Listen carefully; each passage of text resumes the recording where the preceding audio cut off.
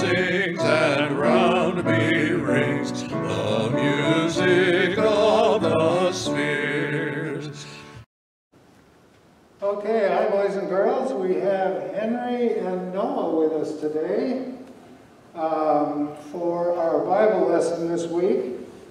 Um, Noah already figured this out. We're going to play a game of sink or float, okay? And I'll tell you why in a minute. But first, I'm going to take some objects out of this little pail here, and I'm going to ask the boys if it will sink or float. I think they'll be able to figure it out pretty fast. So what do you think, guys? Float. Float. You're right, it floats. How about this block, Sink. you think? Yeah, I think sink. Oh, oh, close. Yeah, it's wood. It's wood, yeah. Oh. Okay, all right.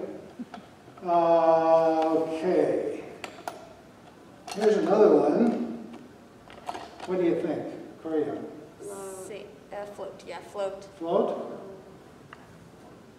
You're right, it floats.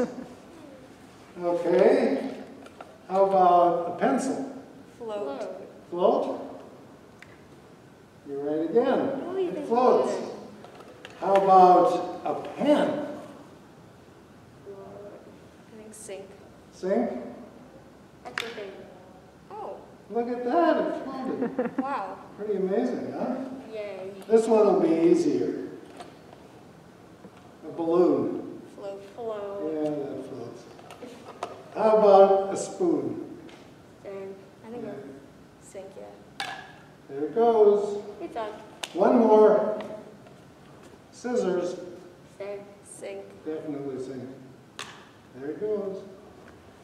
Okay, so floaters and sinkers. Why did I do that? Well, there's a story in the Bible about a storm. Storm came up and Jesus' disciples were in a boat. And the boat was being tossed back and forth. Have you ever been on a lake or water someplace in a boat where the waves were? Yeah. I felt it before. Yeah? But I fell asleep in the first two minutes, so I didn't really experience that much. Oh, okay. I also got a bag of Cheetos, so I was happy. Okay. So anyway, well, they were afraid because it seemed like the boat was going to tip over. So Jesus comes walking out there right on the water, and first they said, It's a ghost! And he said, No, no, no, don't be afraid, it's just me.